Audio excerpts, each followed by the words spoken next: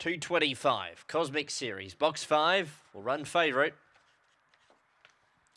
Set and away. Cosmic Series only fair out. Deja Vu on the other hand left brilliantly. Cosmic Series quickly up to second on the turn out of the straight. Weighing Angel next and then followed What Joy behind those. Cristalli Max. Miriong Lana, Miriong Raffles towards the tail end with Just Like Stride. Cosmic Series has taken over and dash clear off the back. Leads by three to four now on Deja Vu, who couldn't match it. And then followed Weighing Angel. Cosmic Series the leader. Deja Vu coming again and got it. In a chopping and changing race, Deja Vu overturned Cosmic Series. Third in may have been the fast finishing Miriong Raffles. Then What Joy and Cristali, Max Miriong Lana behind those, Weighing Angel and Just Like Stride.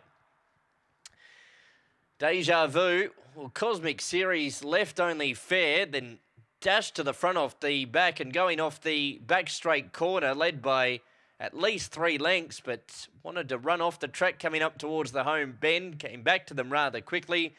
And Deja Vu was there to pounce and pounce it did. 4 5 7 1. Four first, Deja Vu, recording win seven at start number 29. The daughter of Bit Chili for Ellen Buman defeats five Cosmic Series, seven Miriong Raffles, and one What Joy. Now they've run 30 and 19.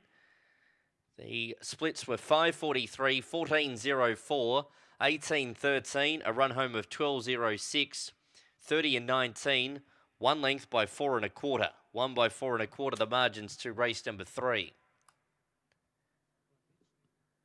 Four, five, seven, and one. Deja Vu first, Cosmic Series second, Miriong Raffles third. What Joy was in fourth placing.